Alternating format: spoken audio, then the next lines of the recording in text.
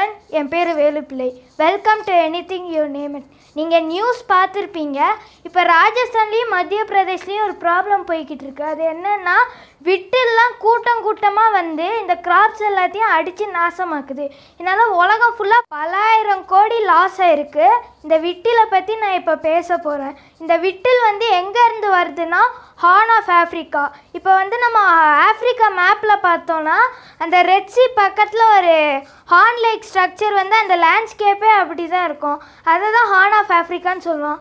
இந்த ஸ்ட்ரக்சரில் உள்ள கண்ட்ரிஸ் என்னெல்லாம்னா இஜிப்து சுடான் இந்த மாதிரி கண்ட்ரீஸ்லாம் ஹார்ன் ஆஃப் ஆஃப்ரிக்காவில் இருக்குது இந்த கண்ட்ரீஸோட வெதர் பார்த்திங்கன்னா ரொம்ப அன்பிரடிக்டபுளாக இருக்கும். அன்பிரடிக்டபுள்னால் நம்மளால் எப்படி அடுத்தது மழை பெய்யுமா வெயில் அடிக்குமான்னு சொல்லவே முடியாது. அவ்வளோத்துக்கு என்ன அடுத்த நாள் என்ன நடக்கும்னே தெரியாது வெதர் கண்டிஷன்ஸு இப்போ வந்து அந்த மாதிரி இடங்கள்ல இந்த விட்டில் இருக்குது இந்த விட்டிலோட பேர் லோகஸ்ட்டுன்னு சொல்லுவாங்க. லோகஸ்ட்னால் ஒன்றும் இல்லை ஒரு கிராஸ் ஓப்பர் டைப் தான்.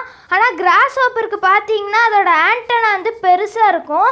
லோகஸ்ட்டுக்கு வந்து இது வந்து ரொம்ப சின்னதாக இருக்கும் இதோட ஆண்டனா ஸோ இது வந்து ரொம்ப அன்பிரடிக்டபுளான கிளைமேட்டில் வாழ்ந்துக்கிட்டு இருக்குது சில சமயம் அது வந்து எவ்வளோ அன்பிரடிக்டபுளாக இருக்கும்னா அந்த லோக்கஸால் சில சமயம் வாழவே முடியாது.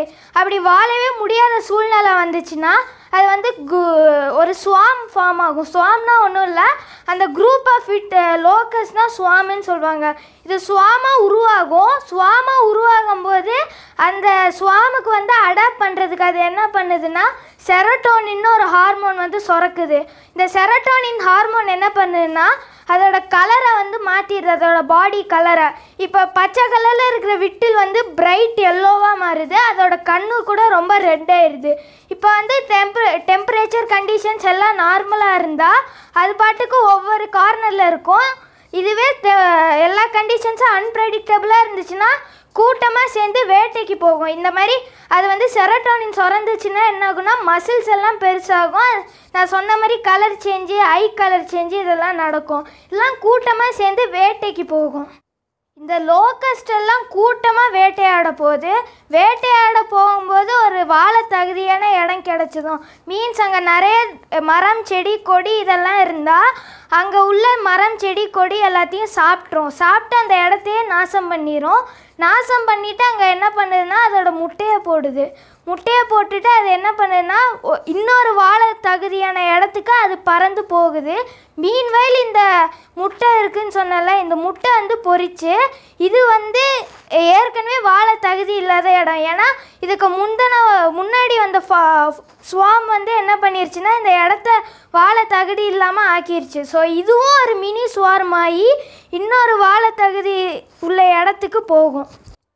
இந்த ஸ்வார்முக்கு வந்து ஒரு ஹேபிட்டபிள் இடம் கிடச்சதா அது என்ன ஆகும்னா இந்த ஸ்வார்ம் வந்து பிரிஞ்சு போயிடும் அதாவது கலைஞ்சு போயிடும் ஒன்று தனித்தனியாக போயிடும் நான் இப்போ சொன்னல இந்த ஸ்வார்மில் வந்து சேரணும்னா அது வந்து கலர்லாம் மாறி கண்ணெல்லாம் ரெட் ஆயிடுச்சுன்னு சொன்னல அந்த செரட்டோனின் ஹார்மோன் வந்து கலைஞ்சு போனதும் கொஞ்சம் கொஞ்சமாக கொ குறைஞ்சி திரும்ப அந்த க்ரீன் ப்ரௌன் அந்த நார்மல் கலருக்கு போயிடும் இப்படி தான் இந்த ஸ்வார்ம் வந்து ஆஃப்ரிக்காவிலேருந்து ஈரான் ஈராக் இந்த மாதிரி நாடுகளுக்கு போய் கடைசியில் நம்ம இந்தியாவுக்கு வந்திருக்கு. இது வந்து இப்போ மட்டும் நடக்கிற பெரிய ட பெரிய ஸ்வார்ம் இல்லை. இதுக்கு முன்னாடியே நிறைய நடந்திருக்கு. Nineteen ninety two to ninety எயிட்டில் என்ன இருக்குன்னா ஆஃப்ரிக்காவே துவம்சம் பண்ணுற அளவுக்கு ஒரு பெரிய ஸ்வார்ம் நடந்துச்சு. அதில் ரொம்ப அஃபெக்ட் ஆன இடங்கள்னா இந்த ஹார்ன் ஆஃப் ஆஃப்ரிக்கா ஏற்கனவே சொன்னல அதெல்லாம் ரொம்ப அஃபெக்ட் ஆச்சு. அதுக்கப்புறம் two thousand four to two thousand ஃபைவ்ல இன்னொரு ஸ்வார்ம் நடந்துச்சு. இது இதில் என்னாச்சுன்னா சவுதியை லைட்டாக அடிச்சுட்டு திரும்பவும் ஆஃப்ரிக்காவை அடிச்சிருக்கு. இதுதான் first time since my birth வந்து இவ்வளோ பெரிய ஈவெண்ட் ஒன்று நடந்திருக்கு.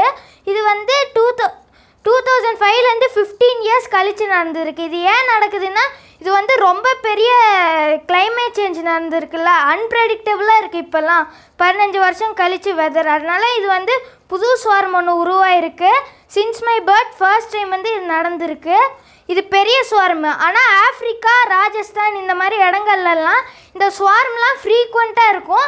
ஆனால் சின்ன சின்ன ஸ்வார்ம்ஸ் தான் இருக்கும். லைக்கு கம்மியான மெம்பர்ஸ் தான் இருப்பாங்க. ஆனால் இந்த தடவை வந்து கண்ட்ரி விட்டு கண்ட்ரி போகிற ஸ்வார்ம் வந்து பதினஞ்சு வருஷத்துக்கு அப்புறம் இதுதான் ஃபஸ்ட்டு டைம் நடக்குது. ஸ்வார்ம்ஸ் மட்டும் இப்போ மட்டும் நடக்கிறது இல்லை ரெண்டாயிரம் மூவாயிரம் வருஷத்துக்கு முன்னாடி ஈஜிப்டில் ஃபேரோஸ் இருந்த காலத்துலேயே ரெக்கார்டட் ஹிஸ்ட்ரி இருக்குது அதில் என்ன சொல்லியிருக்குன்னா இந்த ஸ்வாம்ஸ் எல்லாம் வந்து எங்கள் கிராப்ஸை ரொம்ப அழிக்குதுன்னு ஃபேரோஸ் காலத்துலேயே சொல்லியிருக்காங்க.